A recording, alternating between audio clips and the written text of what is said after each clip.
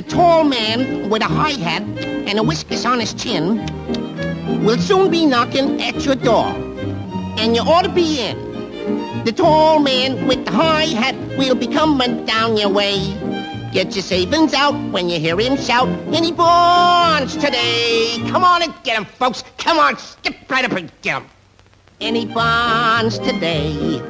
Bonds of freedom, that's what I'm selling. Any bonds today?